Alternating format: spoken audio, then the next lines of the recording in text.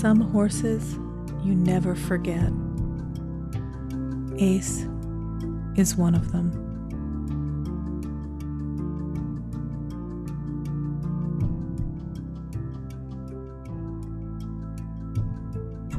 He arrived early April 26, 2008.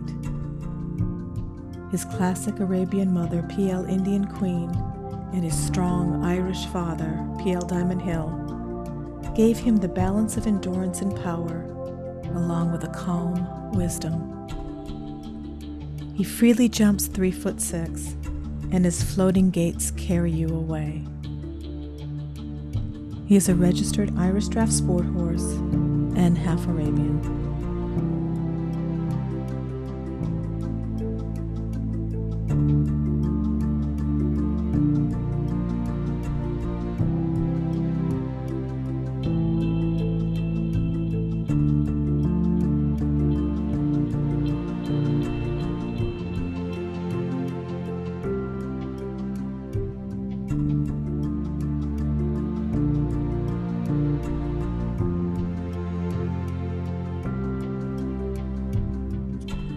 Some horses you never forget.